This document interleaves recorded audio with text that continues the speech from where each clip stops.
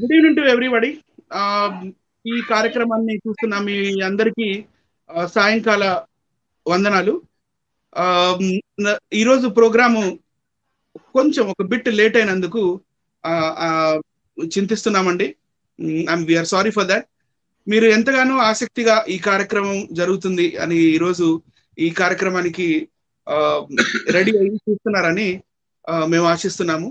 అలాగే ఆ, ఈరోజు మన టాక్ షో మన టాక్ షోలో మన గెస్ట్ మరెవరో కాదు బైబిల్ గ్రంథం పైన కొన్ని అనుచిత వ్యాఖ్యలు చేసిన మరియు బైబిల్ గ్రంథం పైన బైబిల్ గ్రంథంలో ఎన్నో వైరుధ్యాలు ఉన్నాయి అని మరి గత కాలంలో మాట్లాడుతూ మరి ఒక ఒకనొక ఛానల్లో చాలా ప్రోగ్రాములు చేసిన మన జలము జనముల రిచర్డ్సన్ గారు సో అసలు ఈ జనముల రిచర్డ్సన్ గారు ఎవరు?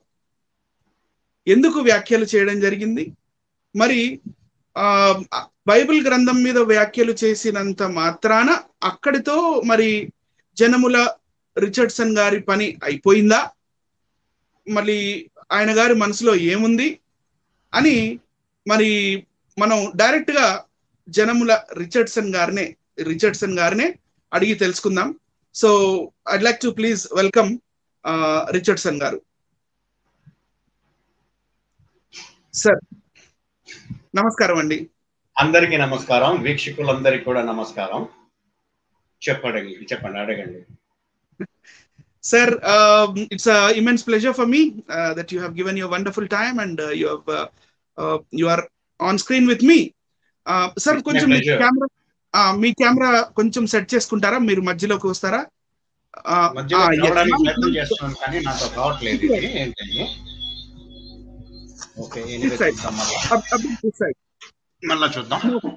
కంప్లీట్లీ ఆన్ ద కొంచెం ఇంకొంచెం sir yes yes okay right sir okay అయితే sir Janumala Richardson garu Janumala Janumala okay. Janumala Richardson garu. ఆ. సరే నాకు మొత్తం పేరు మిమ్మల్ని ఇలా పిలవటం కొంచెం ఇబ్బందిగా ఉంది. రిచర్డ్సన్ గారు. అని రిచర్డ్సన్ గారు అని పిలుస్తాను. రిచర్డ్సన్ గారు మరి మీ ఇంట్రడక్షన్ ఇచ్చే అవసరం మన ఈ కార్యక్రమం చూస్తున్న ప్రేక్షకులకి మీ ఇంట్రడక్షన్ నేను ఇచ్చే అవసరం అసలు లేనే లేదు నాకు తెలిసినంత వరకు. ఎందుకంటే ఆ మీరు ఆల్రెడీ మీ ఇంట్రడక్షన్ మీరు ఒకనొక ఛానల్లో చెప్పడం జరిగింది. మరియు ఒక ఫోన్ కాల్లో కూడా చెప్పడం జరిగింది.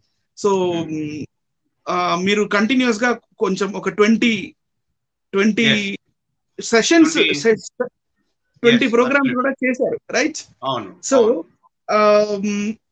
అయినప్పటికీ అయినప్పటికీ మీ మాటల నుండి మీ నోటి ద్వారా మీ గురించి చాలా క్లుప్తంగా మా ప్రేక్షకులకి ఒక్కసారి గుర్తు చేస్తారని నేను కోరుకుంటున్నాను సార్ ఓకే మేము మా పూర్వీకులు ప్రకాశం డిస్టిక్కి సంబంధించిన వాళ్ళు. ఓకే. ప్రకాశం డిస్టిక్లో కంబం అని మండల్ ఆ మండల్లో కందులాపురం అనే ఒక ప్లేస్కి సంబంధించిన వాళ్ళం. మా great grandfather was a Christian. His name was Zachariah. Okay. మా grandfather was a railway employee at Hubli Karnataka. అక్కడే మా ఫాదర్ వాళ్ళు పుట్టడము నేను కూడా అక్కడే పుట్టడము అన్నీ జరిగిపోయినాయి. ఇప్పుడు I'm at the age of sixty six ఒకవేళ నేను మా ఫాదర్కి నేను థర్డ్ సన్ అన్నమాట. అయితే ఒక ట్వంటీ ఫైవ్ ఇయర్స్కి పుట్టాను అనుకోండి. Sixty sixty six plus twenty five ఒకవేళ మా డాడీ మా గ్రాండ్ ఫాదర్కి ట్వంటీ ఇయర్స్ ఏజ్లో పుట్టాడు అనుకుంటే దానికి add another twenty twenty years మా గ్రాండ్ ఫాదర్ వాళ్ళ డాడీకి ట్వంటీ ఇయర్స్ పుట్టి ఉంటే add another twenty years therefore Okay. More than hundred years since last hundred years our family is a Christian family more than Okay. Hundred years okay Okay, I born in uh, Hubli, Karnataka. My father migrated to Hyderabad, Secunderabad, since he was a railway employee. When Secunderabad was uh, has become uh, South Central Railway, he came from Southern Railway to South Central Railway, Secunderabad. ఆ టైంలో మమ్మల్ని Guntur district ఒక హాస్టల్లో చేర్చారనమాట okay. మన Jacob pastor గారి వారి ఇంటి పేరు అది పొలకలూరు అని. ఓకే. ఆ ఊర్లో మమ్మల్ని చేర్చాడు హాస్టల్లో. నేను సిక్స్త్ క్లాస్ నుంచి టెన్త్ క్లాస్ వరకు కొలకలూరులో చదివాను. ఆ తర్వాత హైదరాబాద్కి వచ్చేసి రైల్వే కాలేజీలో ఇంటర్మీడియట్ వరకు చదువుకున్నాను. ఆ తర్వాత ఇండియన్ ఎయిర్ ఫోర్స్లో చేరాను. ఇండియన్ ఎయిర్ ఫోర్స్లో చేరాను. ఇండియన్ ఎయిర్ ఫోర్స్లో ఫిఫ్టీన్ ఇయర్స్ పనిచేసి రిటైర్ అయ్యి రైల్వేలో చేరి as a junior engineer I join. Senior section ఇంజనీర్గా రిటైర్ అయిపోయాను. సీనియర్ సెక్షన్ ఇంజనీర్గా I worked as thirteen years. ఈ థర్టీన్ ఇయర్స్లో I worked as departmental enquiry officer also okay so my father died in nineteen eighty six okay my father was an evangelist He has done his uh, Bachelor of Theological Studies in Secunderabad. అయితే మా ఫ్యామిలీస్లో ఉన్న వాళ్ళందరూ ఎందుకో మరి నాకు తెలియదు కానీ మా ఇంట్లో నేను నేను కొంచెం ఎక్కువ తెలియగలిగినానని భావిస్తారు వాళ్ళు. ఆ విధంగా భావించి వాళ్ళందరూ ఏమన్నారంటే మీ డాడీ లాగా నువ్వు కూడా బైబిల్ కోర్స్ చేసి పాస్టర్ కావాలని కోరుకున్నారు. కోరుకున్న టైంలో ఓకే అప్పుడు నేను ఇంకా సర్వీస్లో ఉన్నాను. నైన్టీన్ ఎయిటీ సిక్స్లో ఆయన చనిపోయారు కదా నేను నైన్టీ వరకు చేయాలి. ఓకే. నైన్టీన్ నైన్టీ వరకు సర్వీస్ చేయాలి. ఫోర్ ఇయర్స్ ఉంది కదా. ఈ ఫోర్ ఇయర్స్లో నేను ఎక్కువగా బైబిల్ బైబిల్ అంతకు ముందు నాకు బైబిల్ నాలెడ్జ్ లేదని కాదు. నేను చిన్నప్పటి నుంచే బైబిల్లో మంచి నాలెడ్జ్ ఉంది నాకు.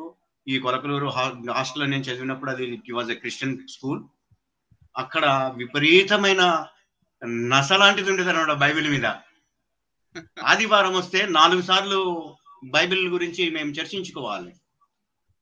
ఉదయాన్నే నిద్ర లేగానే తెల్లవారిన వేళ పాట పాడుకోవాలి.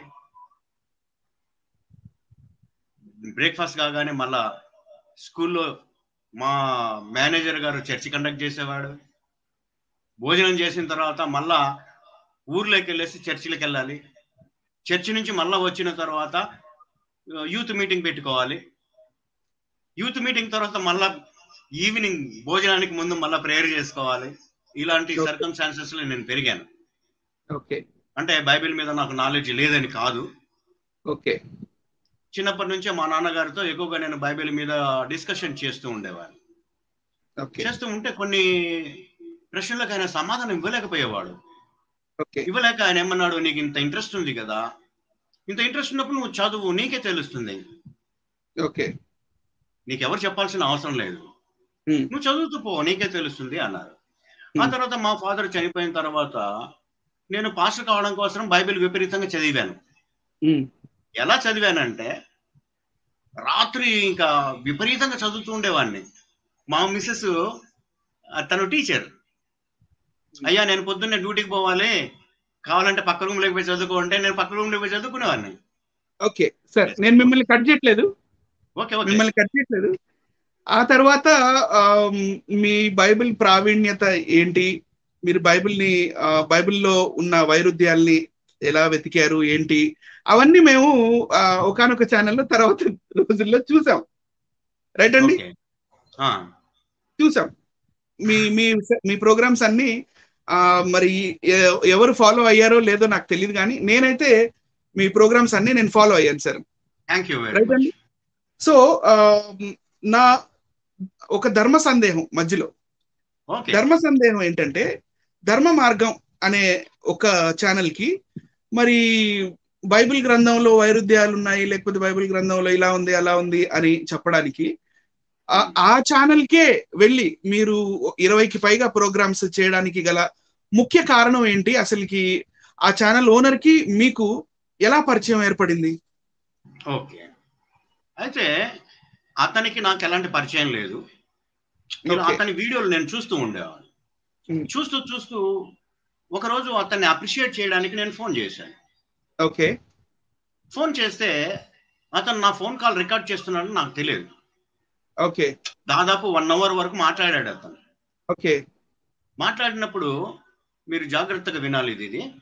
ఎందుకంటే ఇప్పుడు అతను పుస్తకం రాశాడు అని మీరు మీరు రేపు తర్వాత మళ్ళీ ఎలాగో ప్రశ్నిస్తారు. కొద్దిసేపు అయిన తర్వాత. ఓకే. అయితే ఆ ఫోన్ కాల్లో దాంట్లోనే మీరు గ్రహించాలి. మరొకసారి వింటే మీకు తెలుస్తుంది. నేను యేసు రచించిన సాతాను చరిత్ర అనే బుక్ రచిస్తున్నానని నేను చెప్పాను. ఓకే అంటే మీకు ఆల్రెడీ ఒక సబ్జెక్ట్ ఉంది మీ దగ్గర. సబ్జెక్ట్ కాదు చాలా వరకు సబ్జెక్ట్ నేను తయారు చేసి ఉన్నాను. కాకపోతే దాన్ని నేను ఎలా ప్రింట్ చేయాలి ఎలా కన్క్లూడ్ చేయాలని నాకు అర్థం కాని టైంలో ఈయన ఫోన్ ఈయనతో ఫోన్ చేసినప్పుడు ఆయన చెప్పాను నా దగ్గర ఇంత సబ్జెక్ట్ ఉంది. అది మీకు ఇస్తాను నేను. మీరే ప్రజెంట్ చేసుకోండి. నేను చెప్పవలసిన అవసరం లేదు.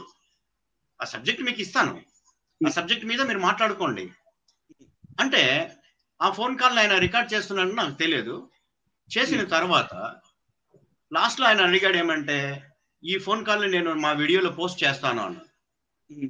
సరే అభ్యంతరం ఏముంది సరే చేయండి అన్నాను Hmm. చేసిన తర్వాత ఆయనను అనేకులు Hmm. రిచర్డ్సన్ గారికి బైబిల్ మీద ఎక్కువ జ్ఞానం ఉన్నట్టుంది ఆయన Hmm. చేత మాట్లాడించండి అని చెప్పి చాలా మంది అడిగారట అడిగితే ఆయన నాకు మళ్ళీ ఫోన్ చేసి చెప్పాడు. ఏమని చాలా మంది మేము ఇలా అడుగుతున్నారండి మీ చేత మాట్లాడించాలని అడుగుతున్నారు. మరి మీకు ఇష్టమైతే మాట్లాడ మాట్లాడాలి అంటే సరే మాట్లాడతానని మాట్లాడాను. అంతే తప్ప ప్రత్యేకంగా నేను ఈ వీడియోలు చేయాలి అనే నా ఉద్దేశం నాకేం లేదు. Okay okay. అయితే అయితే ఇప్పుడు మీరు ఏదైతే క్వశ్చన్ ఎక్స్పెక్ట్ చేశారో నేను అక్కడికి వస్తున్నాను. వస్తారని నాకు తెలుసు. ఎందుకంటే ఇప్పుడు మీరు చేయబోయేది ఏంటో కూడా నాకు తెలుసు. ఓకే. ఏంటంటే మీరు మీరు నేను చేసిన వీడియోస్ని బట్టి నన్ను విపరీతంగా దూషించారు అందరు కలిసి మీరు మీ టీం అంతా. ఇప్పుడు హిందువుల చేత దూషింపజేయాలనుకుంటున్నారేమో నాకు అనుమానం వస్తా ఉంది సరే. అలా ఏం లేదు కానీ ఆ, నేను అంటే ప్రజలకి వచ్చిన ధర్మ సందేహం ఆ జనరల్గా సందేహాలు వస్తుంటాయి కదా. ఇప్పుడు మీరు నా ఛానల్కి వచ్చారు సార్ నా ఛానల్లోకి ఈ రోజు మీరు నా guest speaker so. By any means I will honour you by any means. By any means I will honour you కానీ ఒకవేళ నేను గాని మిమ్మల్ని ఇబ్బంది పెట్టే ప్రశ్న నేను ఒకవేళ మిమ్మల్ని అడిగితే you Hmm. You need not need not to answer కానీ లేదు మీరు నన్ను ఇబ్బంది పెట్టే ప్రశ్నలు అడిగినా ఏం అడిగినా కూడా నాకు తెలిసే సమాధానం చెప్తాను? తెలియకపోతే ఐఎమ్ సారీ అని చెప్తాను. ఓకే అయితే ఆ ఈ క్రైస్తవ్యంలో వీడని చిక్కుముడులు అని ఒక కొత్త పుస్తకం ఒక నాలుగు వందల పేజీల పుస్తకం ఆ ప్రచురణలోకి వచ్చింది. దీని మీద మరి డైలీ ప్రోగ్రాములు పెట్టడం జరుగుతుంది. యూట్యూబ్లో మనం చూస్తా ఉన్నాము. ఆ ఛానల్. పేరు ధర్మ మార్గం అనే ఛానల్ అండి. ఆ పుస్తకం నా దగ్గర ఉంది. నేను చదివాను. మళ్ళీ మీ ప్రోగ్రామ్స్ అన్ని కూడా నేను చూశాను. ఓకే. ఇప్పుడు ఏంటంటే అంటే ఊరికే మచ్చుగ్గా ఒక Hmm. ఎగ్జాంపుల్గా చెప్తున్నాను. కింగ్ అనే ఒక సినిమా ఉంటుందండి కింగ్. కింగ్ అనే కింగ్ అనే సినిమా ఓకే. నేను చూసాను టీవీలో వస్తా ఉంటది నెలకు ఒకసారి వస్తుంటది. కింగ్ అనే. సినిమాలో బ్రహ్మానందం పక్క పక్కవాడి ట్యూన్స్ దొంగతనం చేసేసి ఇది నా ట్యూన్ అని చెప్పుకుంటా ఉంటాడు అనమాట అంటే ఎట్లా Hmm. అంటే లడికి లడికి లడికి అని ఒక పాట ఉంటది సో మీ ట్యూన్స్ అన్ని తీసేసుకొని అక్కడ Hmm. లడికి దగ్గర తడికే ఆ బుక్ రచయిత లడికి Hmm. తీసేసి తడికే పెట్టినట్టుగా నాకు కనపడుతుంది ఎందుకంటే each and every chapter covered by him is of the video covered by you so అక్కడ అదంతా మీ సబ్జెక్ట్ అని నాకు అనిపిస్తుంది ప్రజలు కూడా అనుకుంటున్నారు ఇది ఎంతవరకు నిజం ఓకే ఇప్పుడు అతనికి బైబిల్ మీద నాలెడ్జ్ లేదు అని నేను చెప్పే సాహసం చేయను. కానీ మొట్టమొదట ఆయనతో నా నా నా పరిచయం వచ్చేసి టెలిఫోనిక్ కన్వర్సేషన్ ఆ టెలిఫోనిక్ కన్వర్సేషన్లో నేను ఆయనకు క్లియర్గా చెప్పాను. ఏమని ఆల్రెడీ నేను సబ్జెక్ట్ తయారు చేశాను. సాతాను రచించిన యేసు చరిత్ర అనే ఒక సబ్జెక్ట్ నేను తయారు చేశాను Hmm. చెప్పినప్పుడు.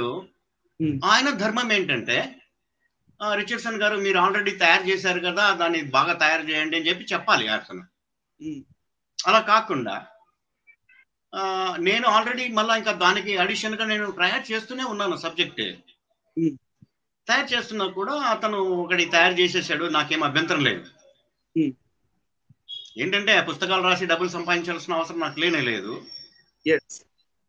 ఓకే నా దగ్గర ఒక సబ్జెక్ట్ ఉంది చాలా పెద్ద సబ్జెక్ట్ అది ఆ సబ్జెక్ట్ ఆయనకు ముందే చెప్పాను నేను టెలిఫోన్లో చెప్పాను మీరు వినొచ్చు. చెప్పినప్పుడు. ఆయన నన్ను ఎంకరేజ్ చేసి నా చేత కంప్లీట్ చేయించాల్సి ఉంది ఓకే. అలా చేయకుండా ఆయన చేశాడు. ఓకే నాకేం అభ్యంతరం లేదు. సో ఆ సబ్జెక్ట్ అంతా అక్కడ తడి అక్కడ లడికి తీసేసి తడిక పెట్టారు అంటారు ఓకే. ఓకే అంటే మాకు అర్థమైంది మాకు అర్థమైంది. మీరు ఎలా అర్థం చేసుకుంటారో నాకు సంబంధం లేదు. Okay okay. రైట్ అండి. అయితే ఇప్పుడు మరి రేపటి రోజున అభియోగం మీ మీద కొన్ని అభియోగాలు కూడా వచ్చే డేంజర్ ఉంది ఏంటంటే రిచర్డ్సన్ గారు అనిల్ కుమార్కి అమ్ముడు పోయాడు రిచర్డ్సన్ గారు అనిల్ ఛానల్కి వెళ్ళి మాట్లాడుతున్నారు అని Hmm. అనే ఇది కూడా ఉంటుంది ఎందుకంటే. మీరు కొద్ది రోజులుగా ఆ ఛానల్లో కనపడట్లేదు దీని. కారణంగా మరి మీ మీద మీ మీద రేపటి రోజున అభియోగం వేస్తారేమో మరి దానికి మీ సమాధానం లేదు. నన్ను కొనగలిగే జీలో డి ఎవరికి ఈ భూమి మీద లేదు అని నా అభిప్రాయం. ఓకే. ఓకే. ఒకవేళ మీకు ఒకవేళ అనుమానం వచ్చి ఉంటే లెట్ భాస్కర్ రాజు ఆన్సర్ నేను రిచర్డ్సన్కి ఇంత డబ్బులు ఇచ్చానని. ఓకే. అలా రేపు నువ్వు కూడా చెప్పాలి. ఏమని? నేను రిచర్డ్సన్కి నీ డబ్బులు ఇచ్చి నా ఛానల్లోకి తెచ్చుకున్నానని. లేదు సార్ నా దగ్గర అంత స్తోమత లేదు. స్తోమత లేదని కాదు. రిచర్డ్సన్ అమ్ముడు అమ్ముడు వ్యక్తి కాదు. ఓకే. ఓకే. ఇప్పుడు మరి ఈ- మధ్య మీరు ఎందుకు కనపడట్లేదు ఆ ఛానల్లో? ఇప్పుడు నేను బైబిల్ మీద ఏమైతే మాట్లాడాలనుకున్నానో. అవన్నీ దాదాపు మాట్లాడేశానని నేను అనుకుంటున్నా. ఓకే. మాట్లాడాలంటే ఇంకా మాట్లాడొచ్చు. చెప్పిందే చెప్పి చెప్పిందే చెప్పి చరివిత చరణంగా ఎంతకాలం చెప్పాలి? నేను అనుకుంటున్నాను ఏంటంటే నేను new new testament old testament రెండింటిని కవర్ చేశాను. ముఖ్యంగా న్యూ టెస్ట్మెంట్ని మత్తయి నుంచి ప్రకటన గ్రంథం వరకు కంప్లీట్ చేశానని నా అభిప్రాయం. ఆ తర్వాత ఇంకా చెయ్యాలి అనే అభిప్రాయం నాకు అనిపించలేదు. నాకు తర్వాత ఏమర్థమైందంటే ఇప్పుడు ఈ భాస్కర్ రాజే కాదు భాస్కర్ రాజు కన్నా ముందు ఎక్స్ క్రిస్టియన్ ఎస్తేర్ ధనరాజు గారు అని చెప్పేసి ఆవిడతో నాకు ఆయన కన్నా ముందు పరిచయం. ఓకే ఆ. ఇప్పుడు భాస్కర్ రాజు గారితో చేసి ఛానల్స్లో చేసిన తర్వాత తను నాకు ఫోన్ చేసేసి ఆమె "ఆ, రిచర్డ్సన్ గారు ఇవి ఈ టాపిక్స్ అన్ని ఇంగ్లీష్లో మీరు చేయండి అని అడిగింది అనమాట. అడిగితే నేను మెల్లగా గ్రహించింది ఏంటంటే ఈ ధర్మ మార్గం భాస్కర్ రాజు ఛానలే కానీ అన్ని ఛానల్స్ చూస్తాను నేను. అన్ని ఛానల్స్ చూస్తుంటే నాకు ఏమర్థం అవుతుందంటే వీళ్ళు కేవలము క్రిస్టియానిటీని అటాక్ చేస్తూ క్రిస్టియానిటీని అటాక్ అటాక్ చేస్తూ. టార్గెట్ చేస్తూ దాన్ని కేవలం దూషిస్తూ చెప్పిందే చెప్పి చెప్పిందే చెప్పి వెయ్యి సార్లు లక్ష సార్లు అదే చెప్తే అసలు వాళ్ళ ఉద్దేశం ఏంటి నాకు అర్థమైంది. ఓకే. వాళ్ళ ఉద్దేశం నాకేమని అర్థమైంది అంటే వాళ్ళు హైందవ ఫిలాసఫీతో సహా ఆర్ఎస్ఎస్ భావజాలాన్ని బీజేపీని సపోర్ట్ చేయాలి అని నాకు అర్థమైంది. నాకు ఈ ఎస్ఆర్ ధనరాజు గారు లాస్ట్ ఫోన్ చేసినప్పుడు నేను చెప్పాను ఆవిడకి ఏమని మీరంతా ఇట్లాంటి హిందూ ఫిలాసఫీని మీరు టార్గెట్ చేసి బీజేపీని సపోర్ట్ చేసి చేయడానికి ప్రయత్నం చేస్తున్నారు కాబట్టి నేను మీ ఛానల్లో మాట్లాడను అని చెప్పాను. ఓకే అని నేను మీ ఛానల్స్కి రాను అని మీరే చెప్పాను. గంటాపరంగా చెప్పేశారు. చెప్పేశాను. సో అయితే ఇప్పుడు మిమ్మల్ని నేను హిందూగా పరిగణించవచ్చా పరిగించడానికి అవకాశం లేదు. ఎందుకంటే నేను క్రిస్టియానిటీని అంటే బైబిల్ని వ్యతిరేకించాను. ఓకే బైబిల్ని మాత్రం వ్యతిరేకించాను. ఉమ్, అంటే ఆదాము పుట్టుక ఇవన్నీ నేను వ్యతిరేకిస్తున్నానని మీరు భావించడానికి వీల్లేదు. ఓకే ఎందుకంటే నేను మీరు చదివే పుస్తకాల కన్నా ఇంకా ముందు చదివిన ముందు పుస్తకాలు చదివిన వాడిని అనమాట ఓకే ఓకే. అయితే మరి సార్ చెప్పండి. మరి మీ నిర్వచనంలో మీ నిర్వచనం ప్రకారం అంటే. మీ అండర్స్టాండింగ్ ప్రకారం దేవుడు అంటే ఏంటి? దేవుడు అంటే ఏంటి అని నేను ఇప్పుడే చెప్పేస్తే అది కుదరదు. అది లాస్ట్లో చెప్పవలసిన మాట. Okay okay. Right right right అంటే మీరు అంటే మీరు నాస్తికులు కూడా కాదు అంతేనా? కాదు. ఓకే. ఓకే. సో మీకు మరి మన దేశ గ్రంథాలుగా చెప్పబడుతున్న ఈ కొన్ని Hmm. గ్రంథాలు ఏవైతే మన దేశంలో రాశారు సంస్కృత భాష మన సంస్కృతి లేకపోతే మన హిస్టరీ ఇతిహాసము మన పురాణాలు మన వేదాలు అని మన గ్రంథాలుగా చెప్పబడుతున్న వీటిల్లో ఉమ్. మీకు ప్రావీణ్యత ఉందా ప్రావీణ్యత ఉంది అని నేను చెప్పను కానీ చతుర్వేదాలు అష్టాదశ పురాణాలు ఇతిహాసాల్లో నాకు ప్రవేశం ఉంది అని నేను చెప్పగలను. దాని ఎసెన్స్ మాత్రం నాకు కంప్లీట్గా తెలుసు. ఓకే. మరి అందులో వైరుధ్యాలు కనపడలేదా సార్ మీకు? నేను ఫస్ట్ ఏమనుకున్నాను ఈ బైబిల్ చదివి పాస్టర్ కాకూడదని ఎప్పుడైతే నిర్ణయించుకున్నానో నేను మిగతా గ్రంథాలు చదవాలి కదా. అన్ని చదివాను. ఆ చదవడంలో నేను బైబిల్ని ఎంతగా వ్యతిరేకించానో అంతకన్నా ఎక్కువగా వ్యతిరేకించాను వీటిని. హైందవ. గ్రంథాలని. ఓకే ఆహా. ఎందుకు అలా అంటే ఎందుకు వ్య- వ్యతిరేకించాల్సి వచ్చింది? అంటే మన మరి చాలా ఫేమస్ దేవుళ్ళు చాలా మంది ఉన్నారు కదా మరి ఓకే ఫేమస్ దేవుళ్ళు అంటే ఏంటి? మీ అభిప్రాయం ప్రకారం. అంటే రాముడు కృష్ణుడు మన దేశ దేవుళ్ళు కదా అని. ఇప్పుడు నేను భారతీయుణ్ణి. సార్ ఏ ఈ దేశం మీద నాకు ప్రేమ గౌరవము లేకపోతే నేను డిఫెన్స్లో వెళ్ళి పనిచేస్తానా? లేదు దేశ రక్షణకు కదా నేను పనిచేసింది? అవును ఈ రోజు ఈ రోజు ఈ రోజు మీరు నన్ను దేశద్రోహి అంటారా? ఎంత ధైర్యం మీకు? దేశ రక్షణ గురించి కదా నేను పోయింది? అవును. రాష్ట్రాలు రాష్ట్రాలు పట్టుకుని తిరిగేసి వచ్చింది? అలాగే మీరు కూడా చేసి వచ్చారు. అంటే మీరు దేశద్రోహులా నెవర్ అంటే ఇప్పుడు ఏంటంటే మనకు ఒక ఫిలాసఫీ ఉంది. ఆ ఫిలాసఫీ మనల్ని ఎడ్యుకేట్ చేస్తుందా? అంధకారంలోకి నడిపిస్తుందా అనేది కూడా అవసరం. ఇప్పుడు నాకు తెలిసి నైన్టీన్ సెవెంటీ వన్లో Indian literacy was only twenty four percent. Okay. అంటే ఎంతమంది అవిద్యావంతులు ఉన్నారు మిగతా సెవెంటీ సిక్స్ పర్సెంట్ ఉన్నారండి. Seventy six percent are illiterates okay. ఇప్పుడు విద్యావంతులు అని మనము లెక్క పెట్టడం అంటే అక్షరాలు రాయడము చదవడం వచ్చిన వాడు లిటరేట్ అంటున్నాం. ఇప్పుడు మూడో తరగతి నాలుగో చదివిన చదివిన వాడికి కూడా రాయడం చదవడం వచ్చు. వాడిని చదివిన వాడిని లెక్కలే పెట్టుకుంటున్నాం. కానీ వాడు విజ్ఞానవంతుడు కాదు. విజ్ఞానవంతులు ఎంతమంది? అయితే ఎవరైతే కొంచెం చదువుకున్న వాళ్ళలాగా కనిపించారో వాళ్ళు చెప్పినవన్నీ సత్యాలని మనం బరి మనము నమ్మేస్తున్నాం. అక్కడ వచ్చింది ప్రాబ్లం. ఓకే. ఓకే? అలాగే అంటే ఒక- కాకుండా అంటే ఒక ఎగ్జాంపుల్గా ఏమన్నా చెప్తారా? తప్పకుండా చెప్తాను. ఇప్పుడు ఇప్పుడు సగటు హిందువులంతా. సగటు హిందువులు అంటే సగటు హిందువులు అంటే భారతదేశంలో ఉన్న చరిత్ర గురించి తెలియని వాళ్ళు కూడా ఆర్యన్ మైగ్రేషన్ ఒప్పుకోవట్లేదు. ఆర్యన్. ఇన్వేషన్ ఆర్యన్ ఇన్వేషన్ ఒప్పుకోవట్లేదు. కానీ ఇండియన్ యూనివర్సిటీస్ అన్ని ఒప్పుకొని యూపీఎస్సి క్లాసెస్లో వాటర్లో ఆర్యన్ ఇన్వేషన్ జరిగింది అని చెప్పేస్తున్నారు. అంటే యూనివర్సిటీస్ అన్న మీరు మేధావులా? కాలేదు కానప్పుడు మరి వాటిని మీరు అమెండ్ చేయించుకోండి. అభ్యంతరం లేదు. ఆర్యన్ ఇన్వేషన్ ఇండియాలోకి జరగలేదు అంటారు.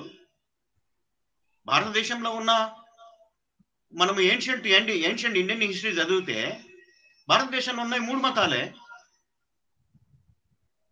ఆ మూడు మతాల్లో ఏంటి? బ్రాహ్మణ మతము జైన మతము బౌద్ధ మతం ఇప్పుడు బ్రాహ్మణ మతం హిందూ మతంగా మారింది. ఈ బ్రాహ్మణ మతమే ఆర్యన్ మతం. ఓకే. ఆర్యన్స్ తెచ్చిన మతం ఇక్కడ ఉన్నది. కదా? మరి జైన మతము బౌద్ధ మతానికి ఈ సోకాల్డ్ హిందూ మతానికి డిస్ప్యూట్స్ ఎందుకు వచ్చాయి? ఈ బౌద్ధ ఇప్పుడు జైనులు ఇప్పుడు మన ఆర్యన్స్ తెచ్చిన మతములో అన్ని ఏముంటాయి? యజ్ఞాలు యాగాలు ఉంటాయి. అందులో బలులు ఇలాంటివన్నీ ఉండేవి. కానీ జైన మతం బౌద్ధ మతము అహింస సిద్ధాంతాన్ని బోధించాయి. వాళ్ళు వీళ్ళని వ్యతిరేకించారు. ఎవరు? ఈ బ్రాహ్మణ మతము అని చెప్పబడిన దాంట్లో ఉన్న బలులు వాటిని వ్యతిరేకించారు వాళ్ళు. వ్యతిరేకించారు. వ్యతిరేకించారంటే వాళ్ళు అహింస సిద్ధాంతాన్ని పాటించారా లేదా? పాటించినట్టే కదా సార్. పాటించి అంటే ఇప్పుడు మనము దేన్ని దేన్ని అనుసరించాలి ఇప్పుడు చెప్పు? ఈ బ్రాహ్మణ మతం కాకుండా మిగతా ఏవైతే ఉన్నాయో? వాటిని వాటిని అనుసరించాలి. ఈ రోజు ఏం చెప్తారు? అసలు హైందవ మతంలో బలులు లేవు ఏం లేవని చెప్తారు? అది ఓకే. అవును అవును చెప్తారు. మనకు భారతదేశంలో పూర్వ చరిత్ర తీసుకున్నా కూడా ఇండస్ వ్యాలీ సివిలైజేషన్ కన్నా ముందుకు పోదు. ఆ మన భారతదేశ చరిత్ర అసలు ఇండస్ వ్యాలీ నుంచే స్టార్ట్ అవుతుంది.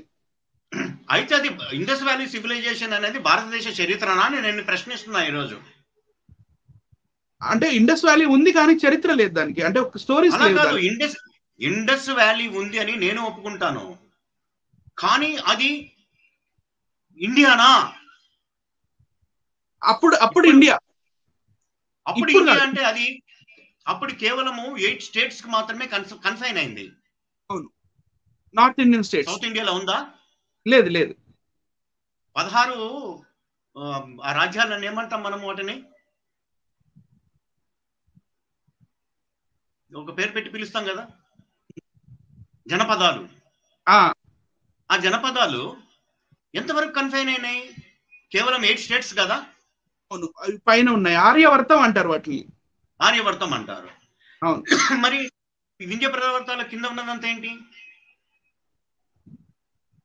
సార్ సార్ కమ్ అగైన్ వాటికి కింద ఉన్న దేశం అంతా ఏంటి అది? ద్రవిడ దేశం సార్ ద్రవిడ దేశం. ద్రవిడ దేశం. పోనీ ఈ పదహారు జనపదాలు కూడా యునైటెడ్గా ఉన్నాయా? లేదు నెవర్ ఒకరినొకరు కొట్టుకు చచ్చారా లేదా? అవును కొట్టుకున్నారు.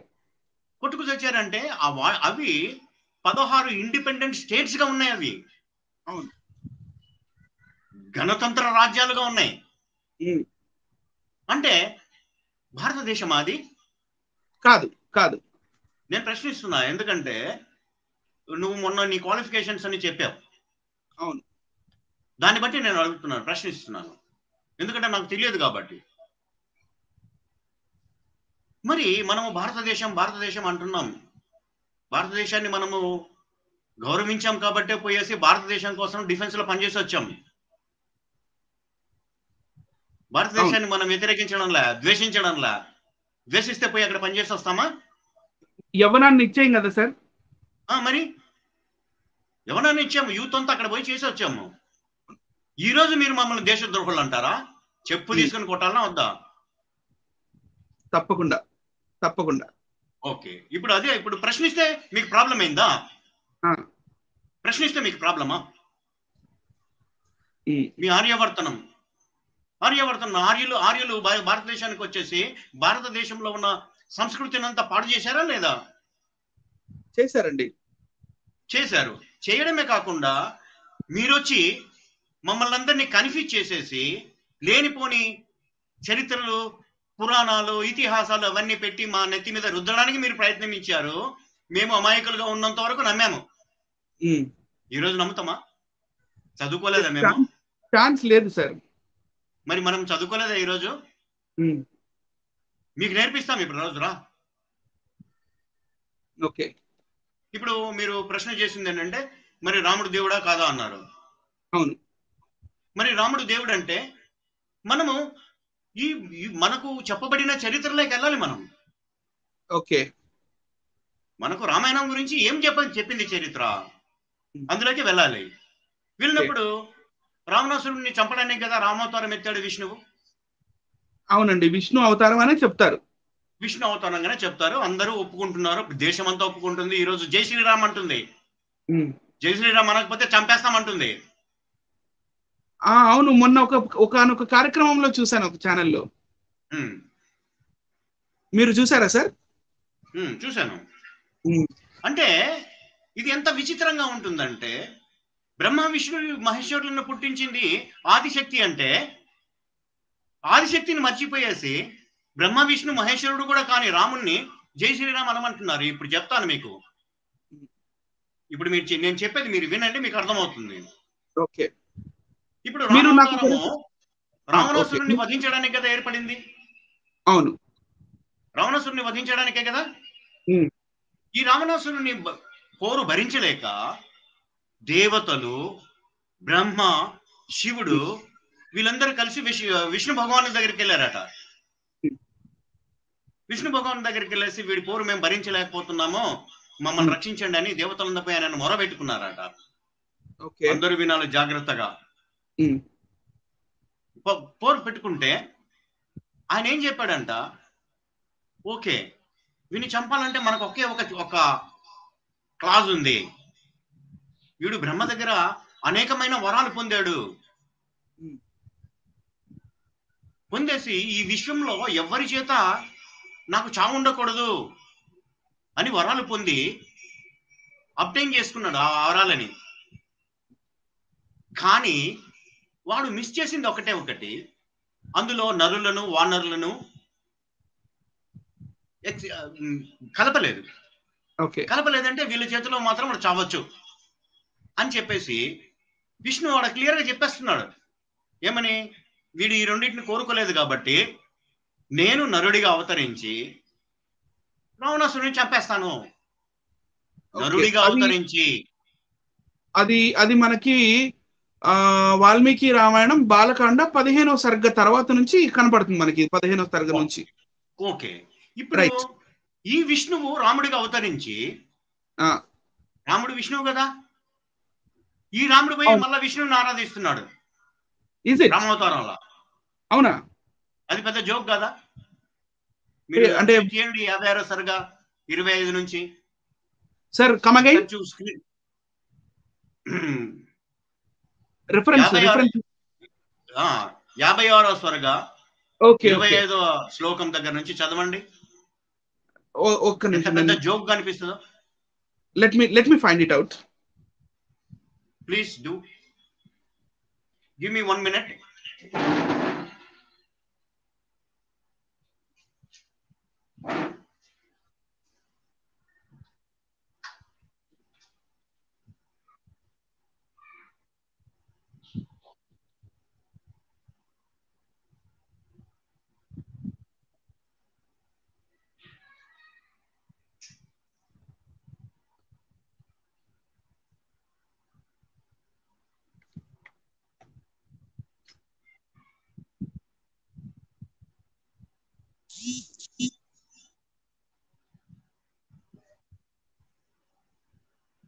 చదవండి. ఓకే చదవమంటారా? చదవండి. ఇది వాల్మీకి రామాయణం అయోధ్యకాండ యాభై ఆరవ సర్గలో ఉంది సార్. ఆ ఇక్కడ ఏమున్నదంటే ఆ ఈ సందర్భం ఏంటంటే ఈ రాముడు సీత ఇంకా లక్ష్మణుడు వనవాసానికి వెళ్ళినప్పుడు చిత్రకూటం దగ్గర ఒక పర్ణశాలను కట్టుకుంటారు. పర్ణశాల. సో అక్కడ పర్ణశాలను కట్టుకున్న తర్వాత జరుగుతున్న కన్వర్సేషన్ ఇది. ఈ కన్వర్సేషన్ ఏంటంటే ఓ సౌమ్యుడా అంటే శ్రీరాముల వారు చెప్తున్నారు ఇక్కడ ఓ సౌ- సౌమ్యుడా ఈ లేడి మాంసమును ఉడికించుము పర్ణశాల పూజ చేసేదము ఈ దినము స్థిర దినము ముహూర్తము కూడా స్థిర ముహూర్తము. తర్వాత మళ్ళీ ట్వంటీ సిక్స్త్ ట్వంటీ సిక్స్త్లో ఏముందంటే పిదప వ్రతా ప్రతాపవంతుడు సుమిత్రాపుత్రుడు అయిన లక్ష్మణుడు ఆ ఒక పవిత్రమైన కృష్ణసారమను లేడిని చంపి అంటే బ్లాక్ బక్. ఓకే లేడీని చంపి దానిని ప్రజ్వలిల్లుచున్న అగ్నిలో పడవేసి దాని మాంసమును పక్వము చేసెను.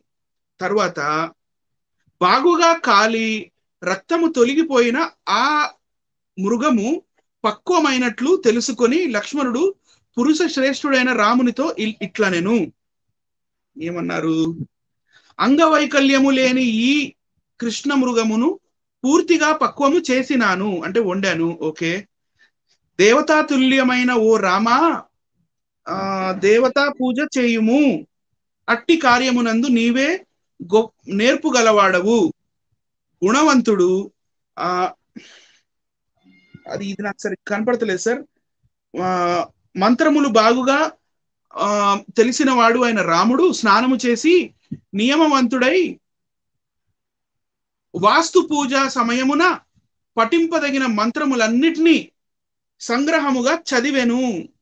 దాని తర్వాత ఆ దాని తర్వాత దేవతలను దేవతలనందరినీ పూజించి పవిత్రుడైన పర్ణశాలలో ప్రవేశించగానే పవిత్రుడై పర్ణశాలలో ప్రవేశించగానే అమితమైన తేజస్సు గల ఆ రాముని మనస్సునందు ఆహ్లాదము కలిగెను. ఓకే. Right sir? తరువాత ముప్పై ఒకటి ముప్పై రెండు శ్లోకాల తాత్పర్యం ఏంటంటే రాముడు విశ్వదేవతలను రుద్రుని విష్ణువును ఉద్దేశించి బలులు. సార్, మళ్ళీ చదవాలా? కాదా? రాముడు ఆ విశ్వదేవతలను రుద్రుని విష్ణువును ఉద్దేశించి బలులు బలులు సమర్పించి ఆగల. Okay okay. ఇప్పుడు రాముడు విష్ణు అవతారమా కాదా? విష్ణు అవతారమే కదా సార్? మరి విష్ణువుని ఆరాధిస్తున్నాడు ఎందుకు? ఇది నాకు వచ్చిన డౌట్ ఇప్పుడు విజ్ఞానులు పరమ మేధావులందరూ దీనికి సహా సమాధానం చెప్పాలి. రాముడు విష్ణు అవతారం. భూమి మీద అవతరించాడు. అవతరించేసి. ఎంత కొన్ని వేల సంవత్సరాలు ఈ భూమి మీద ఆయన జని ఆయన ఉన్నట్లుగా చెప్తున్నారు. వైకుంఠం ఖాళీ చేసి రాలేదా? లక్ష్మీదేవి కూడా సీత అవతారం ఎత్తి రాలేదా. మీకు డౌట్ రావట్లేదా? డౌట్ అయితే నాకు బాగా వస్తుంది సార్. చాలా డౌట్ వస్తుంది. అంటే ఇప్పుడు ఆ ఇక్కడ దీన్ని బట్టి నాకు ఏం అర్థమైందంటే ఒకవేళ శ్రీరాముల వారు అంటే విష్ణు శ్రీ మహావిష్ణు శ్రీరాముల వారుగా ఒకవేళ పుట్టి ఉంటే. మళ్ళీ ఇప్పుడు ఉత్తమమైన బలులను అంటే మిగతా వాస్తు దేవతలకి రుద్రుడు అంటే శివుడికి మళ్ళీ మాట్లాడుకుందాం. రుద్రుడు Okay. రుద్రుడు గురించి శివుడి గురించి బ్రహ్మ గురించి వాటి గురించి మనము ఇప్పుడు మాట్లాడితే టైం సరిపోదు. ఓకే వాళ్ళ గురించి కూడా చరి- చర్చిద్దాం. ఓకే వాళ్ళెవరు? వాళ్ళ చరిత్ర ఏంటి? అది కూడా. చూద్దాం. ఇక్కడ కన్ఫైన్ అయిపోదాం. అయితే ఇప్పుడు విష్ణువు విష్ణువు రాముడి అవతారంలో ఉండి రాముడు again again praying to again. Worshipping Vishnu అనేది నాకు అర్థం కాలేదు కాన్సెప్ట్ అదే నేను అడుగుతున్నాను. మిగతా వాళ్ళని ఇప్పుడు మన భారతదేశంలో మనలందరినీ కన్ఫ్యూజ్ చేసే వాళ్ళు సమాధానం ఇవ్వాలి. ఓకే మనం భారతీయులం. భారతదేశ చరిత్రను మనం ఎప్పుడు చదువుతున్నాం? మన చదువుకోలేకపోయాం. ఇలాంటి వైరుధ్యాలు మరి మీరు ఎందుకు చెప్పరు అని మీరు ఎన్నడన్నా భాస్కర్ రాజు గారితో మాట్లాడడం భాస్కర్ రాజు గారితో ఇలాంటి కన్వర్జేషన్ మీకు ఎప్పుడన్నా జరిగిందా? నేను అతనితో డీటెయిల్డ్గా చర్చ చేయలేదు కానీ నేను ఆయనకు హింట్ ఇచ్చాను. మన భారతదేశంలో మనల్ని ఎవరో మోసగిస్తున్నారు. అంటే అదేంటి? ఆయన నన్ను అడగలేదు. ఓకే. అంటే ఆయన అడిగుంటే నేను చెప్పేవాడిని ఏమని? మన ఈ పుస్తకాల ద్వారా మనల్ని భారతదేశంలో ఎవడో రచించిన మన భారతీయులు కాకుండా ఎవడో రచించిన చరిత్రను మన చేత చదివించి మనల్ని మోసగిస్తున్నారని నేను ఆయనకు చెప్పేవాడిని. ఇప్పుడు మనకు అర్థం కావట్లేదా. భారతదేశంలో ఈ రాముడు అనేవాడు కూడా భారతదేశాన్ని ఎప్పుడు పరిపాలించాడు ఉమ్. భారతదేశాన్ని పరిపాలించాడా? లేదు నాకు బాగా- నీకు హిస్టరీ చరిత్ర బాగా తెలుసు. హిస్టరీలో అయితే దొరకట్లేదు సార్ మరి. హిస్టరీ కాకుండా కూడా పురాణాల్లోనే చెప్పాడా? ఈ ఈ- ఈ ఇతిహాసాల్లోనే చెప్పాడు ఆయన భారతదేశాన్ని పరిపాలించినట్లుగా? అంటే ఇది ఆథెంటిక్ ఇతిహాసం కాదనే కదా దాని అర్థం? అంటే ఆయన భారతదేశాన్ని పరిపాలించి ఉంటే ఇతిహాసానుసారమైన? అప్పుడు మనం ఒప్పుకోవచ్చు. రాముడు భారతదేశానికి చెందినవాడు అని. ఇప్పుడు ఈ ఆ, ఏమంటారు? ఈ పదహారు జనపదాలలో ఒక జనపదానికి సంబంధించిన వాడా కాదా? అలాగే అనిపిస్తుంది సార్. అనిపించడం కాదు. రూఢి చేయాలి. చరిత్ర లేదా మనకి? ఉంది. ఆ చరిత్రలో రాముడు కేవలము కోసల దేశాన్ని కాకుండా ఇతర దేశాన్ని పరిపాలించినట్లుగా ఉందా? లేదు. లేనప్పుడు రాముడు భారతదేశానికి రాజు అని మనం ఎలా నమ్మగలము? యు మేడ్ పరిపాలించాడు. వాస్తవానికి చెప్పాలంటే. మీరు చరిత్ర సరిగ్గా చదవండి. ఈ దశరథ మహారాజు అనేవాడు అశోక మహారాజుకి మనమడు. BC two hundred and thirty two సంబంధించిన వాడు. సరే ఈ స్టేట్మెంట్ మళ్ళీ ఇంకొకసారి ఇవ్వండి. క్లియర్గా? దశరథ మహారాజు అనేవాడు అశోక చక్రవర్తికి మనమడు. అతని పేరు దశరథ మౌర్య అనుకుంటాను. దశరథ మౌర్యుడే. ఇప్పుడు ఈ చరి చరిత్రని కలగా పొలగం చేసేసి దశరథ మౌర్యుడు ఇప్పుడు దశరథుడికి పూర్వీకులు జైనులు. అవును. అశోకుడి దగ్గర నుంచి బౌద్ధులయ్యారు. అవును. ఇప్పుడు ఇతను అశోకునికి మనమడు. అవును. అయితే బౌద్ధులు అహింస సిద్ధాంతాన్ని పరిపాలించా పాటించారా? లేక అశ్వమేధ యాగాలు ఇలాంటి యాగాలు చేసేవాళ్ళ చేయలేదు చేయలేదు అశ్వమేధ యాగాలకి వాళ్ళు డెడ్ అగైన్స్ట్ రెడ్ అగైన్స్ ఉన్నప్పుడు దశరథ మహారాజు అశ్వమేధ యాగం చేసినట్లుగా మనకు చరిత్రలో చొప్పించి మన నెత్తి మీద రుద్దుతున్నారు మరి ఓకే. ఇప్పుడు దశరథ మహారాజు వెరీ పూర్ కింగ్ అన్నమాట మనం ఇండియన్. హిస్టరీలో చూస్తే. ఏన్షియంట్ ఇండియన్ హిస్టరీ చదివితే. అందులో దశరథ మహారాజు వెరీ పూర్ కింగ్. అతని కాలంలోనే ఈ భారతదేశం అంతా క్షీణించిపోయింది అనమాట ఓకే? Mm. అక్కడ మనకు. దశరథ మహారాజు కనిపిస్తున్నాడు కానీ రాముడు కనిపించట్లేదు. అవును అవును. ఎస్ ఇక దశరథ మహారాజు తర్వాత ఈ మౌర్య సామ్రాజ్యంలో చివరి కింగ్ వచ్చేసి బృహద్రథుడు. బృహద్రథ మౌర్య. బృహద్ర మౌర్య. అతనికి ఇద్దరు భార్యలు. ఇద్దరు భార్యలు కూడా ట్విన్స్ అన్నమాట. ఓకే. ఈ బృహద్రథుడికి సంతానం కలగదు. చాలా కాలం సంతానం కలగకపోతే ఆయన ఈ ఋషులను వాళ్ళని ఆశ్రయించేసి అయ్యా నాకు సంతానం లేదు సంతానం కలగడానికి ఏదన్నా మాకు ఒక ఇది ఉపాయం చూపించండి అంటే ఒక ఋషి ఏం చేస్తాడంటే ఆయనకు ఒక ఫలం ఇస్తాడు. ఓకే ఒక ఫ్రూట్.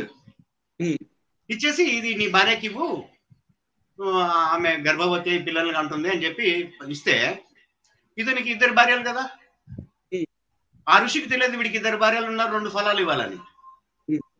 ఒక ఫలం ఇస్తాడు ఆ ఫలాన్ని ఇతను ఏం చేస్తాడు బృహద్రథుడు రెండు ముక్కలుగా కోసి ఇద్దరు భార్యలకి ఇస్తాడు.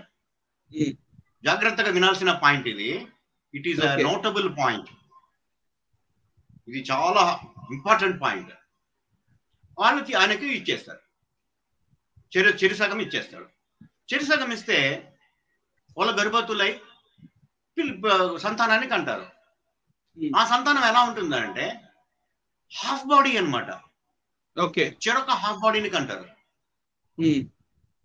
చెరొక హాఫ్ బాడీని ఆ Hmm. శిశువు సగం Ah. సగంగా ఇద్దరికి Hmm. సగం సగం సగం పుట్టేసరికి ఈ సంతానాన్ని చూసి ఈ బృహద్రుడు వాళ్ళ ఇంటి వాళ్ళందరూ ఏమనుకుంటారంటే ఏమంత వేస్ట్ కదా అని చెప్పేసి ఎక్కడైనా Hmm. తీసుకుపోయి దూరంగా పడేయండి రా అని చెప్పేసి వాళ్ళ సేవలకు చెప్తే వాళ్ళు పడేస్తారు బయట. ఓకే. బయట పడేసినప్పుడు ఒక రాక్షసి చూస్తుంది. ఆ రాక్షసి పేరు? ఇతని జర. ఇప్పుడు మన. కృష్ణావతారంలో వస్తాడు ఇతను. జర. ఆ, జరాసంధుడు అనేవాడు. ఆ జర అనే రాక్షసుడికి but hold it. But hold it sir please hold it okay ఈ జరాసంద జరాసంధుడు హిస్టరీలో యాక్చువల్గా మన యూపీఎస్సి లో ఉన్నది లేకపోతే మన ఏదైతే ఎగ్జామ్స్ రాసి మనం ఐఏఎస్ ఐపీఎస్ అవ్వాలో ఈ జరాసంధుడు బృహద్రథుడి కొడుకు కదా హిస్టరీలో ఉన్న? అవును. అదే చెప్తున్నాను. విను విన్న అవును. తర్వాత మళ్ళా నువ్వు నువ్వు మిగతా చెప్పొచ్చు. ఓకే అంటే నాకు డౌట్ వచ్చింది నాకు డౌట్ ఇవి ఈ రెండు బాడీస్ని అక్కడ చెత్త కుండీలో పడేస్తే జర అనే రాక్షసి. వచ్చేసి ఈ రెండు బాడీస్ని ఇలా దగ్గరికి పట్టుకొని తినడానికి ప్రయత్నం చేస్తున్నప్పుడు ఆ బాడీ యునైట్ అవుతుంది. యునైట్ వేసి ఇంకా ఏడవడం మొదలు పెడతాం. ఓకే. అప్పుడు తీసుకొచ్చేసి మళ్ళా ఈ బృహద్రుడి ఇంట్లో అయ్యా ఇదిగో మీ పిల్లడని హ్యాండ్ ఓవర్ చేస్తుంది ఇది జరిగింది ఎప్పుడు? బీసీ వన్ ఎయిటీ ఫైవ్ తర్వాత. బీసీ వన్ ఎయిటీ ఫైవ్ తర్వాతే ఎస్ అవునండి. బీసీ వన్ ఎయిటీ ఫైవ్ తర్వాతలో ఈ జరాసంధుడు మనకు మహాభారతంలోకి ఎలా వచ్చాడు?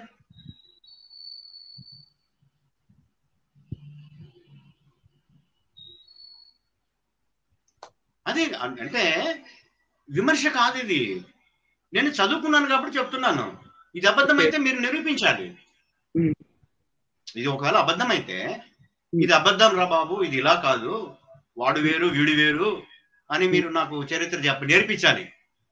I'm ready age of sixty six also okay. మీరు ఎలాగూ ఆ నాలుగు నా చతుర్వేదాలు అన్నారు. చతుర్వేదాలు కూడా చదివాను అన్నారు కాబట్టి మరి వేదాల్లో దేవతలు రాక్షసులు ఈ కాన్సెప్ట్ ఉంటుంది. దేవతలు రాక్షసులు పురాణాలు అన్నారు. బుల్షిట్ అదంతా బుల్షిట్ ఇప్పుడు దేవతలు రాక్షసులు అంటే ఇప్పుడు ఆ కాలంలో ఈ ఆర్యన్స్ అంతా దేవతలుగా భావించుకున్నారు.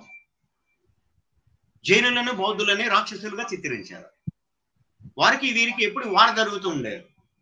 ఎందుకంటే ఈ ఆర్యులంతా ఎప్పుడు యజ్ఞయాగాదులు చేసేవాళ్ళు అందులో బలు బలులు అవి అర్పిస్తూ ఉండేవాళ్ళు దాన్ని వీళ్ళు వ్యతిరేకిస్తూ ఉండేవాళ్ళు. ఓకే? అశోకుని కాలంలో ఈ పశువధ అనేది ఆయన దాన్ని నిషేధించాడు. ఓకే. ఇప్పుడు ఈ బృహద్రథుని పుష్యమిత్ర శృంగుడు అనేవాడు చంపేసిన తర్వాత. మౌర్య సామ్రాజ్యాన్ని ఆక్యుపై చేసిన తర్వాత. మళ్ళా బలులను స్టార్ట్ చేశాడు అతను. స్టార్ట్ చేయడమే కాదు ఈ బౌద్ధులందరినీ ఫోర్ మిలియన్ బుద్ధిస్టులని చంపేశాడు ఆయన ఫోర్ మిలియన్ అవును. అవును అది పుష్యమిత్ర శృంగుడి హిస్టరీలో చదివాను ఇప్పుడు మనం మనది ఇండియన్ హిస్టరీ కాదా అవును ఇండియన్ హిస్టరీ చదువుతున్నామా? ఇప్పుడు మనం దేశద్రోహులమా ఈ చరిత్ర గురించి చెప్తే యూపీఎస్సి దీన్ని దీన్ని యూని- యూనివర్సిటీస్ చెప్పేవే కదా యూపీఎస్లో నేర్చుకోవాల్సింది. మరి అవి నేర్పిస్తున్నారు ఇప్పుడు యూపీఎస్సి లెసన్స్లో.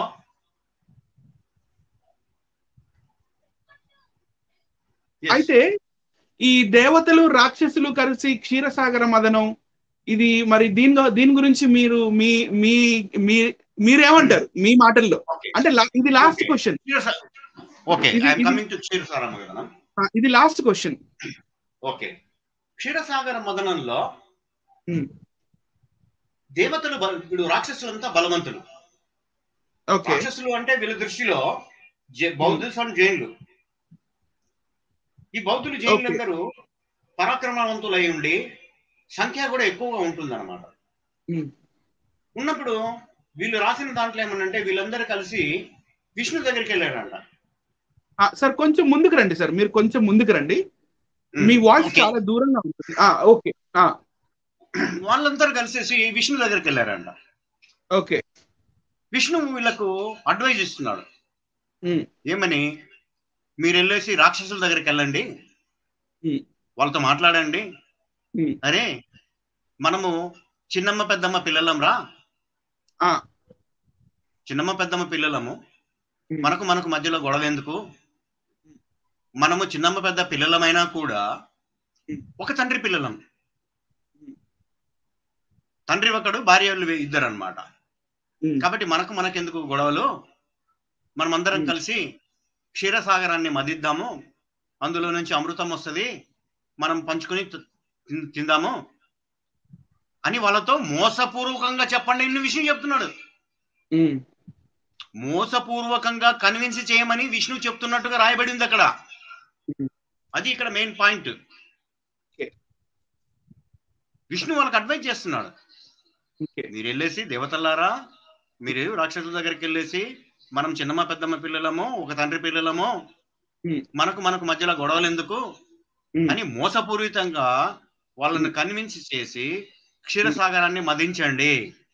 అందులో. నుంచి వచ్చే అమృతాన్ని నేను వాళ్ళకు చెందకుండా మీకు మాత్రమే అందేలాగా చేస్తానని చెప్తున్నాడు.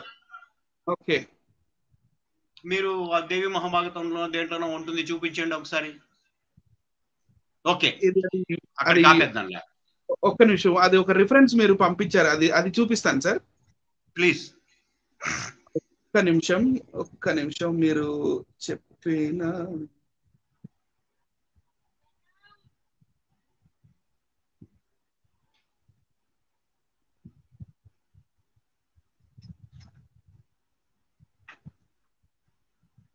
ఇస్ దిస్ ద వన్ ఇదేనా? అదే.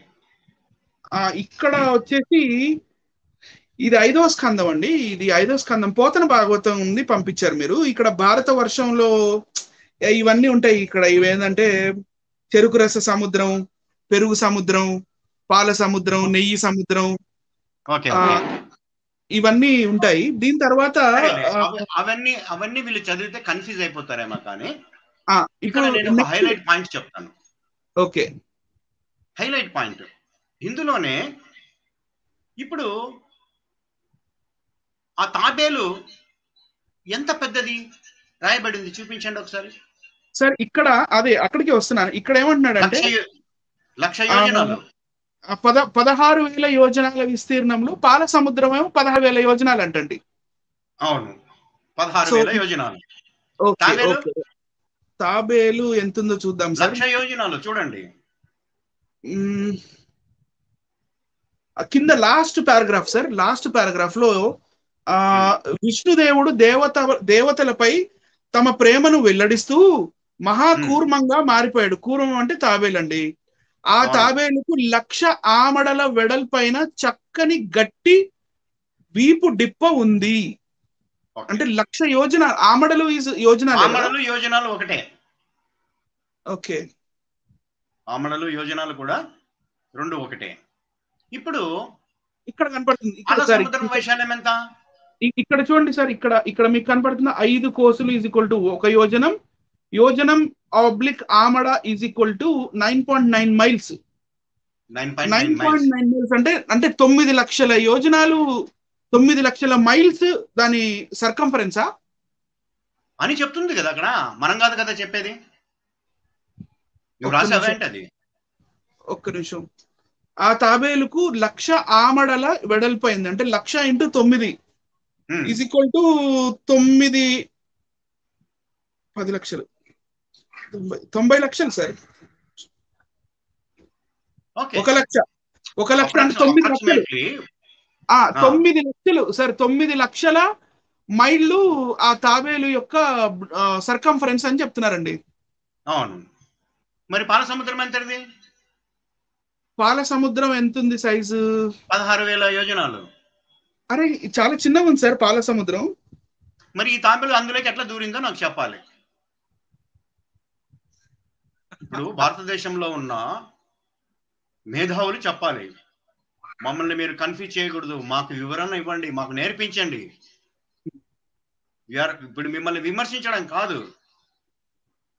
మీరు దీన్ని మాకు సంజాసి ఇవ్వాలి. ఇవ్వడానికి అవసరం ఇవి ఇచ్చే ఇచ్చే ఉద్దేశం లేదంటే మీరు ఎవరిని మోసగించదలుచుకున్నారు. ఇందులో మోసం ఉన్నట్లా లేన లేనట్లా? కనపడుతుందండి. ఆ, మరి ప్రశ్నిస్తే మూర్ఖులు మీకు ఆ, ఏమంటారు సంస్కృతం తెలియదు సంస్కృత శ్లోకాలు శ్లోకాలు తెలియదు. సంస్కృత శ్లోకాలు తెలుసుకొని అన్ని చదవాలంటే భారతదేశంలో ఎవ్వడు చదవడు. భారతదేశంలో అందరికి సంస్కృతం వస్తుందా? సార్ భారతదేశ జనాభాలో వన్ పర్సెంట్ కూడా సరిగ్గా సంస్కృతం రాదు సార్. అంటే వన్ పర్సెంట్ కూడా చదవరని అర్థం. ఓకే. ఇప్పుడు సంస్కృత శ్లోకాలు మీకు రావడం లేదు మీకు తెలియదు వాటి అర్థాలు తెలియదు అని చాలా మంది మూర్ఖులు ఇక ఇంకా నాకు బూతులు వస్తే బాగుండదు. వద్దులేండి వద్దులేండి. వాళ్ళు వాళ్ళు అందరినీ దూషిస్తూ ఉంటారన్నమాట. Hmm. యదవలు సన్నాసులు అని అంటారు. అంటే చెప్పండి. ఒకవేళ మనం ప్రశ్నిస్తే మన ప్రశ్నించిన మనల్ని సరే వాళ్ళు మనల్ని తిట్టారు సరే నన్ను తిడితే అంటే మనల్ని తిడితే నేనైతే క్షమించుకుంటాను. కానీ దేశద్రోహులు అనడం అది ఎంతవరకు సమంజసం అనేది మీరు దేశద్రోహులు. మీరు ఎవరు సార్? దేశద్రోహులు. మీరు దేశాన్ని దేశాన్ని ఆగం పట్టిస్తున్నారు. అబద్ధాలను ప్రచారం చేసుకుంటూ. దేశాన్ని ఆగం పట్టిస్తున్నారు. సత్యాలు చెప్పండి. నేర్పించండి మాకు. సత్య మార్గంలోకి నడిపించండి మమ్మల్ని. చెత్తంతా తీసుకొచ్చి మా నెత్తిన రుద్దకండి. మీరు కొంచెం ముందుకు. రావాలి? మీరు కొంచెం ముందుకు రావాలి. వాయిస్ ఇప్పుడు చెప్పండి సార్. ఇప్పుడు ఈ వీళ్ళు ఎలాగో చదవరు. మనం చెప్పింది వినేస్తారని ఎంతకాలం మోసగిస్తారు మమ్మల్ని. ఈ రండి ఇప్పుడు మీకు నేర్పిస్తాం పాఠాలు. మీకు ఏం సబ్జెక్ట్ కావాలో చెప్పండి. ఒక రెండు రోజుల ముందు చెప్పండి. రండి కూర్చొని నేర్పిస్తారు రెండు రోజులు చాలు. మీకు ఋగ్వేదం నేర్చుకుంటారా? యజుర్వేదం నేర్చు సామవేదం అన్ని చతుర్వేదాల్లో ఏం నేర్చుకుంటారు? అష్టాదశల. పురాణాల్లో ఏ పురాణం నేర్చుకోవాలనుకుంటున్నారు? రండి నేర్పిస్తాం. అంతేగాని. ఎలాగో వాళ్ళు ఏమనుకుంటారంటే ఇప్పుడు మాలమాదిగలకు విద్య విద్యా విహీనులు వీళ్ళు ఇవన్నీ ఎప్పుడు వీళ్ళు చదవలేదు? మనం వాళ్ళని వాళ్ళ నెత్తి మీద వేసి బాగా రుద్దొచ్చు అని అనుకుంటున్నారు. ఇప్పుడు వాళ్ళకి నేర్పించే స్థితిలో లేమా మనము? తప్పకుండా ఉన్నాం సార్. రమ్మనండి మరి. ఓకే. అయితే సార్ ఎలాగో ఫిఫ్టీ ఫైవ్ మినిట్స్ వస్తుంది కాబట్టి ఫైనల్గా మిమ్మల్ని ఒక క్వశ్చన్ అడుగుతాను. అడగండి. దేవుడు అనే పదానికి మీరిచ్చే నిర్వచనం అంటే మీ మీ పర్సనల్ థింకింగ్ ఏంటి? దేవుడు. దేవుడు అనేది ఏంటంటే దానికన్నా ముందు నేను మీకు ఒక విశ్లేషణ ఇవ్వాలి. ఓకే. ఆ విశ్లేషణ ఏంటంటే నేను మాత్రం సెవెంత్ క్లాస్లో చదువుకున్నాను. మరి. మీరు ఎప్పుడు చదువుకున్నారు నాకు తెలియదు. ఓకే. లైట్ అండ్ ప్రిజం కథ.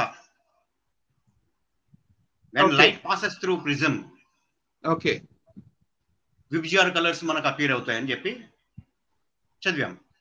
అవును. When light passes through prism అంటే Hmm. Which is pyramidical shape ఒక Hmm. ట్రాన్స్పరెంట్ గ్లాస్ దాంట్లోంచి Hmm. ఇప్పుడు ఆ లైట్ రేస్ సెవెన్ కలర్స్గా మారుతాయి. VIBGYOR violet indigo violet indigo blue yellow orange red అయితే ఇప్పుడు అవే కాకుండా కంటికి కనిపించని రేస్ కూడా ఉన్నాయి అందులో. ఓకే. మన కంటికి కనిపించావు. Hmm. But they exist okay. X ray Y ray gamma ray అట్లా. అనేక ఉన్నాయి. కానీ నేను సెవెంత్ క్లాస్లో చదువుకున్నాను ఎట్ కొలకలూరు. రామలింగయ్య పంతులు అని మాకు నేర్పించాడు ఇతను. ఈజ్ వైశ్య. ఒక చక్రం తిప్పేవాడు అనమాట. సెవెన్ కలర్స్ చక్రం తిప్పితే వైట్గా కనిపించేది. ఓకే అయితే white is also not an answer Hmm. Light has no colour okay prism also doesn't have any colour okay ఈ లైట్ అనేది ఇప్పుడు ఏంటంటే colourlessness passing through colourlessness we are seeing seven colours okay are you getting my point I got your point అంటే light disperse అవుతుంది. Light అనేది doesn't have any colour okay prism also doesn't have any colour. ఈ colourlessness colourlessness నుంచి travel చేస్తుంటే seven colours బయటకు వస్తున్నాయట. Okay అయితే ఈ సెవెన్ కలర్స్ అవి ఏమనుకుంటున్నాయంటే బయటికి వచ్చిన తర్వాత they are feeling independent each colour. Is feeling it is independent have no concern with other six colours Ah. అలా ఫీల్ అవుతూ నేనే నేనే గ్రేట్ నేనే గ్రేట్ అని చెప్పేసి మిగతా ఆరింటితోటి అవి విభేదిస్తున్నాయి. Hmm. కానీ వాటి వాటి ఉనికిని మర్చిపోతున్నాయి. ఓకే వాటి ఉనికి ఏంటి వెళ్తురు కదా? అవును. వెలుతురుల నుంచి కదా బయటకు వచ్చేవి? అవును. అలా మర్చిపోయేసి ప్రస్తుతము మన ఈ ప్రపంచంలో ఉన్న మతాలు కూడా అవే. ఈ మతాలు నేను గొప్ప నేను గొప్ప అని ఇప్పుడు డిస్ప్యూట్ అవుతున్నాయి. ఇవి Hmm. వాస్తవానికి ఇవన్నింటిని కలిపి మదించి తీస్తేనే సత్యం బయటకు వచ్చేది. ఓకే. ఈ ఏడు మతాలతోనే కాకుండా ఈ ఎక్స్రే వైరే గామారే అని అంటే మనకు అతీతంగా ఉన్న మతాలు కూడా కొన్ని ఉన్నాయి. ఓకే. మనం అర్థం చేసుకోలేని మతాలు కూడా ఉంటాయి. సార్ కెమెరాకి వెళ్ళి చూడండి సార్. చూస్తున్నాను ఎస్ అయితే ఇప్పుడు ప్రతివాడు అర్థం చేసుకోవాల్సింది ఏంటంటే ఐఎమ్ నాట్ ఇండిపెండెంట్ నా ఒరిజిన్ వచ్చేసి లైట్ అని తెలుసుకోవాలి. అలా తెలుసుకోవాలనుకుంటే అది మానవుడికి ఎప్పుడు తెలుస్తుందంటే నా పర్సనల్ ఎక్స్పీరియన్స్తో చెప్తున్నాను. ఓకే. ప్రతి ఒక్క గ్రంథం మనకేం చెప్తుందంటే దేవుడు మన మన హృదయమందు నివసించుచున్నాడు. అన్నది ఎప్పుడన్నా విన్నారా మీరు? నేను విన్నాను. బైబిల్లో కూడా చెప్పబడింది. అవును. దేవుడు. మన హృదయమందు నివసించుచున్నాడు. నేను ఒక సెంటెన్స్ చాలా కాలం క్రితం చదివాను. ఆ రెఫరెన్స్ మళ్ళీ నేను కోట్ చేసుకోలేకపోతున్నాను.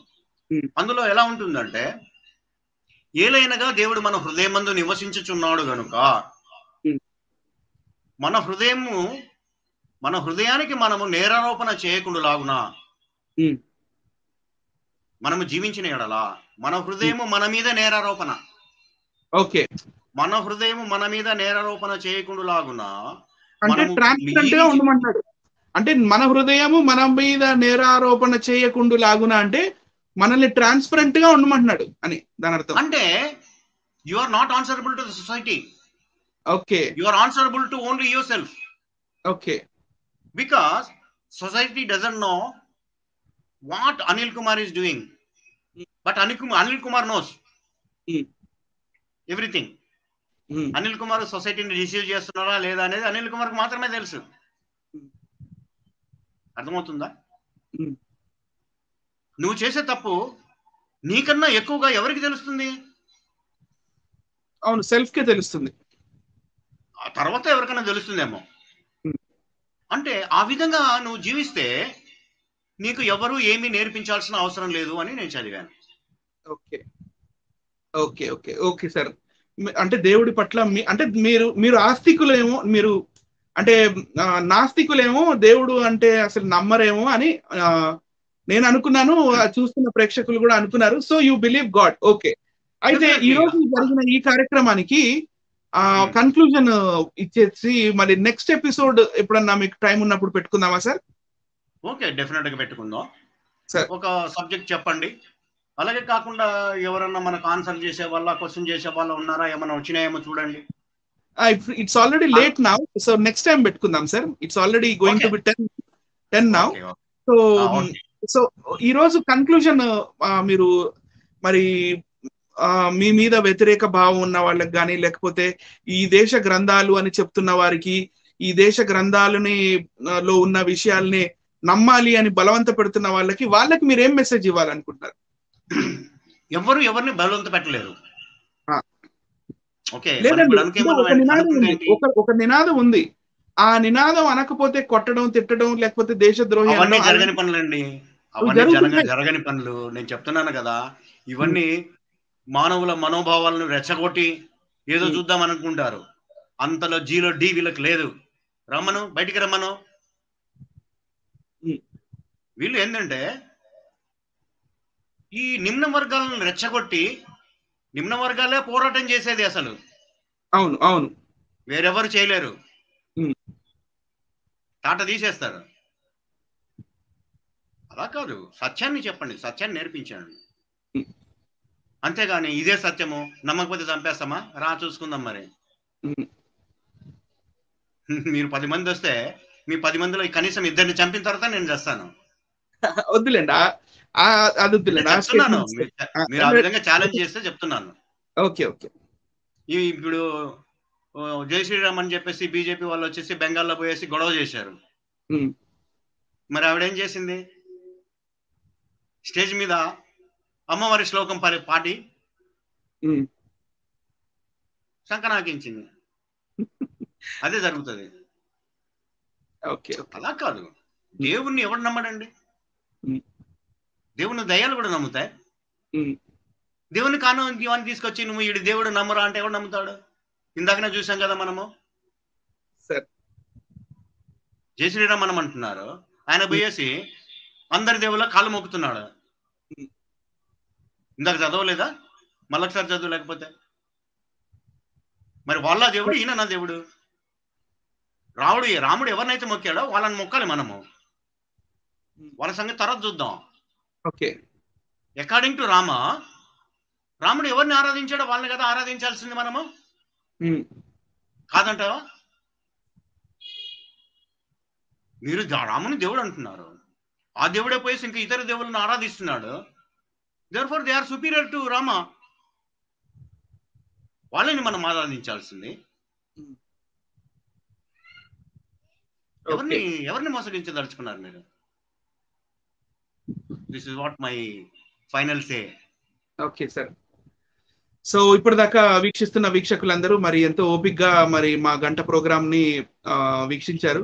మరి మ్, రిచర్డ్సన్ గారు ఎన్నో విషయాల్ని చెప్పడం జరిగింది. మరి సొంత సార్ మీరు సొంత ఛానల్ పెట్టాలి అనే ఒక ఆలోచనలో ఉన్నట్టుగా ఎస్ ఎస్ అయితే నేను సొంత ఛానల్ ఎందుకంటే హిందూ ఫిలాసఫీ మీద చేయాలంటే భాస్కర్ రాజు గారి ఛానల్లో నాకు చేసే అవకాశం ఉండదు. కనుక నేను ఒక ఛానల్ ఓపెన్ చేశాను. దాని దాని పేరు పరిశోధన ఛానల్. ఓకే. నేను ఓపెన్ చేసిన తర్వాత.